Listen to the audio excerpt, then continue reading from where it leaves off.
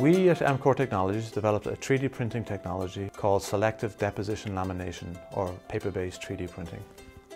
So SDL is a very low cost solution. It really makes 3D printing accessible for everybody. It's very easy to use, but it doesn't run on toxic chemicals like some of our competitors really rely. This is how the technology works. Mcor 3D printers include a piece of software called SliceIt. And what SliceIt does is that it takes in the digital file and it slices the model digitally, each layer equivalent to the thickness of a slice of paper. If you're printing in colour, you have two options. Either you get your file with your colour information on it, or if you don't have that, you can use another piece of software by Mcor called Colorit, which enables you to apply colour to a regular STL or white file before sending it to SliceIt. Once the colour has been applied in Colorit, you then import the model into SliceIt and prepare your model on the screen before you send it to the actual 3D printer.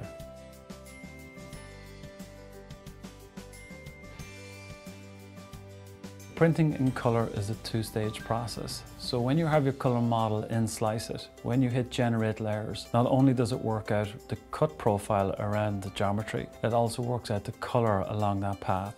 Then we hit print and we send that colour information to a 2D printer that takes the Mcor ink and prints that colour in duplex onto each sheet. We then take those sheets of paper and load them into a 3D printer for 3D printing.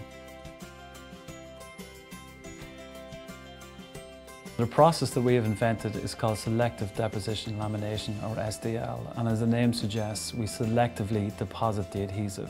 What that means is that on the very first layer we apply adhesive but in two different ways.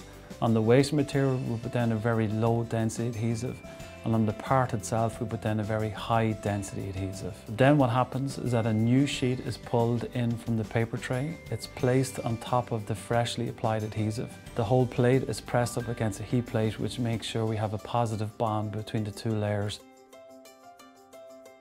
The build plate comes down and it's ready for the next process. When the build plate returns to the build height, an adjustable tungsten carbide blade cuts just one layer at a time, tracing out the object that we're trying to make. When the cutting sequence is complete, the machine immediately starts to apply the next layer of adhesive. A new layer is pulled in, pressed together and cut and the whole process is repeated over and over until all the layers are pulled into the machine. When all the layers are done, the part is finished and can be removed.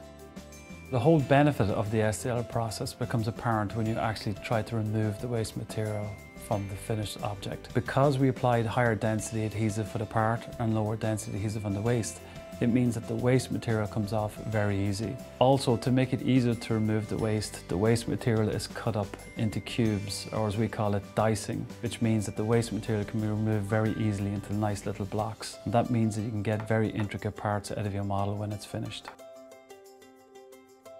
Unlike other technologies, Mcor 3D printed parts do not require dipping in toxic chemicals. The 3D printed object comes out very tough and very durable. If you want to make parts that can be drilled, tapped or water resistant, you can give them a quick dip and they're ready to go.